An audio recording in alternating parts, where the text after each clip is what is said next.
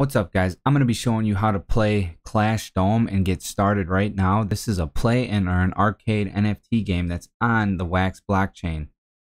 Clash Dome has actually five mini games within the project's platform and I think this is super epic so I'm going to show you how to get started.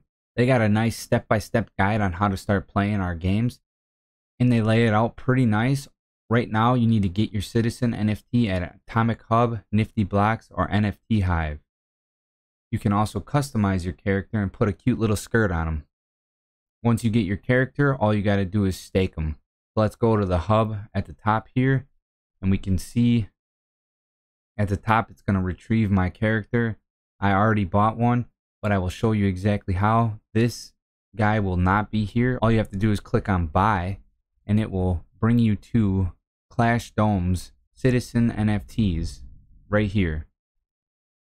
So we got some Clash Dome Citizen Pleb. And then we got some normies. Uber norms. so I'm going to be using my juicer cue for Rugpool. Once you get your character, you come over to stake. And you're able to stake your character. And then you can play any of the mini games right here. All you have to do to start earning, they got a few different currencies that you can earn. Ludio is the in-game currency that you can earn while playing rug pool. I also know that they have gigawatts, carbs. So they got a few in-game currencies that you can start earning. They do have five different mini games that you can play, and actually, Endless Siege is really fun.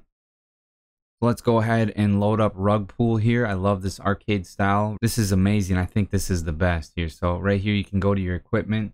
You can see the juicer cue is equipped. Let's get into it.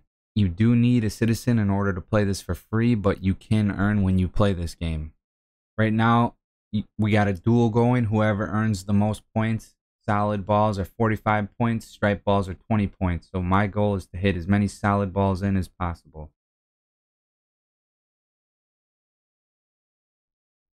You can play this as many times as you want for free.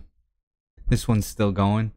So you're actually playing against people in real time, it looks like. So this one's still loading up. So we'll find out if I won or not. So each one of these mini games is going to add to your piggy bank.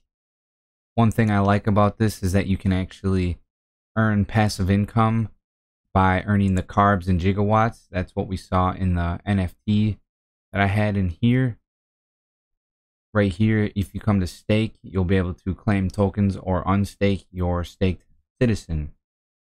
Alright guys, come over to Clash Dome, give them a follow. This was a short tutorial on just how to start playing. It's super simple to start playing and it's very fun. There's a lot of mini games on it and there is earning there. There is serious earning potential as well if this game starts catching traction, which who doesn't like mini games? There's a lot of people that don't want AAA games. They just want to have fun and have little games to play. There's nothing wrong with that at all. But I am on the hunt for them AAA games. So I'll see you in the next video.